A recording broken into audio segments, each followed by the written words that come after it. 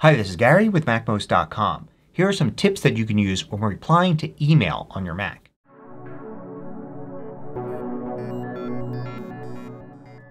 MacMost is brought to you thanks to a great group of more than a thousand supporters. Go to MacMost.com slash Patreon. There you can read more about the Patreon campaign, join us, and get exclusive content and course discounts. So if you want to reply to an email in mail, usually you just quickly click reply, type your response, and send it. But this doesn't always give you the best results. There are a lot of things you should pay attention to when replying to email and a lot of ways to make your replies better. So for instance, here I've got a message from someone and I want to reply to them. I could click the reply button here and now I could type my reply at the top, hit send, and be done with it. But let's first focus on exactly what happened here in terms of this. This is the message that they sent. The entire thing here is quoted and I'm responding here at the top. There are a few ways that I could do better including less of this and making it more obvious as to what it is I'm responding to here at the top. Go to Mail Preferences and then go to Composing. And then if you look here you'll see quote the text of the original message. If you have that turned off then things simply won't be quoted. You respond and it's a brand new message which can make it really difficult for the other person to know what it is you're responding to. Maybe they send a lot of messages. Maybe they sent you a lot of messages and they have to get from what you write exactly what it is that you're saying. Sometimes quoting what they say and then answering that is the best way to do it. So having this turned on is best. But you don't necessarily need to quote the entire thing. If you look down here you have two choices. Include all of the original message text or include only the selected text. And note that if you choose to include only the selected text, if nothing is selected then all text is included. So you have the best of both worlds. Now if I want to respond to this message by answering one of the questions in here I can simply select the question like that.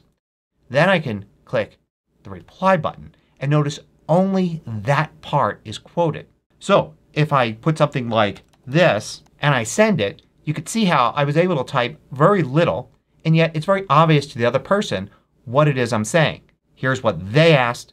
Here's how I responded. I could also, of course, instead of responding up here, simply place my cursor there and then put the response there. This is particularly useful when there are multiple questions in the original email. I can select from the first question to the second question. Then I can hit reply. And then I can simply place my cursor here, press return, and I can answer this question.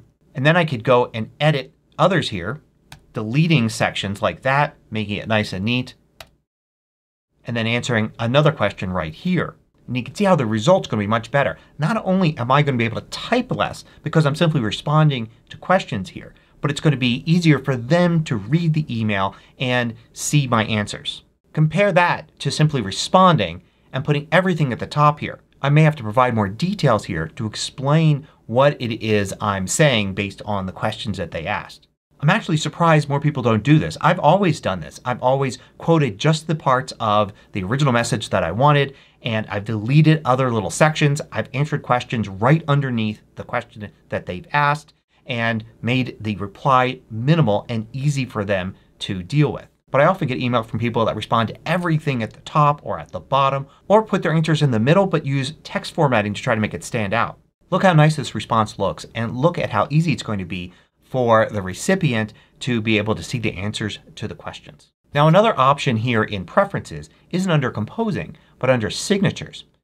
At the bottom here you can see Place Signature above quoted text. So if I select it here then I respond to this message you can see how I could type there and my signature is right underneath it. The other option is to have that turned off and then when I respond my signature is all the way at the bottom which may mean they never see it. Now you should put it where you are responding. So if you find that you're often responding here at the top then you don't want to have the signature there at the bottom. It may actually take them a few seconds to figure out who it is responding.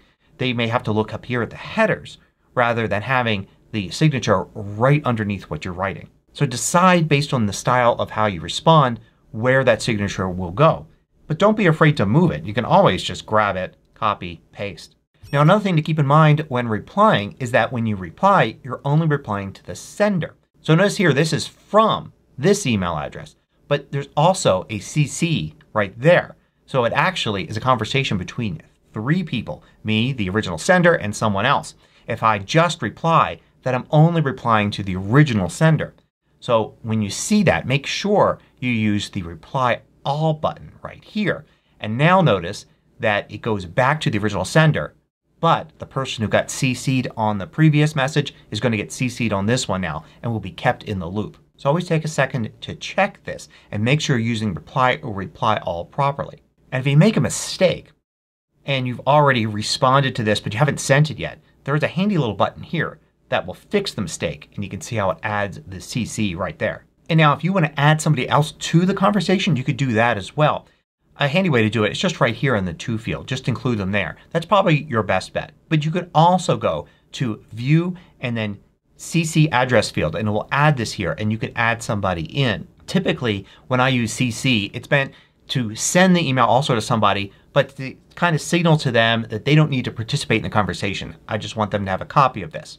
Now you could also go to BCC address field and add that as well the person that the message is sent to and anybody it's CC to won't know that this was also BCC to that other person. Which could be useful if you want to keep that secret, but it's also useful if you simply want to notify that other person but you don't want them to get all wrapped up in the back and forth conversation.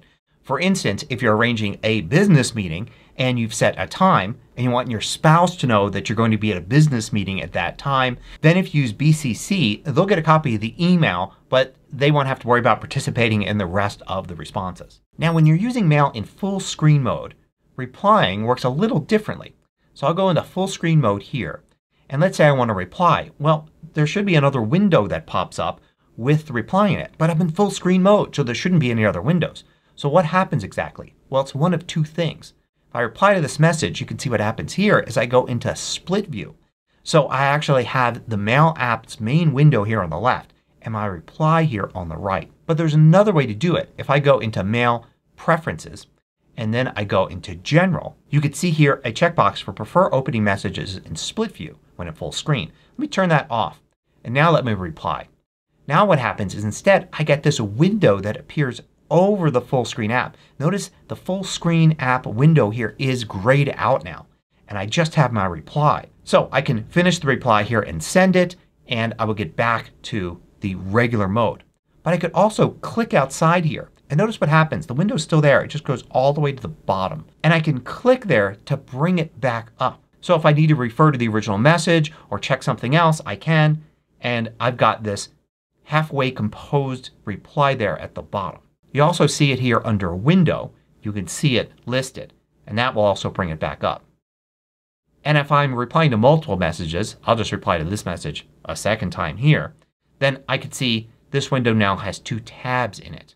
And note that if you're already using Mail in split view, so you've got say Mail on the left and something like Messages on the right, then it's going to automatically use this overlay window style because there's no other place to put that reply window. Now when replying to a message, one of the things you want to pay attention to is both your from email address and your signature because you can change these. In this case I just have one signature here. But I think it's important to tailor the signature to the recipient and the situation. For instance, you may have a professional signature that has all sorts of details about how to contact you, your website, maybe even an image.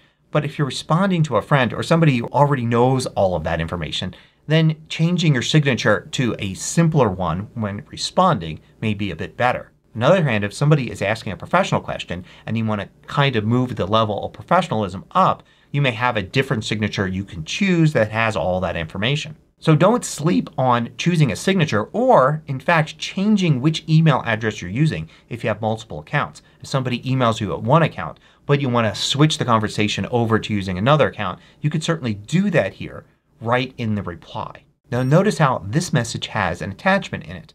If I reply to it, the attachment isn't there. I get a little indicator that it was there, but it's not there.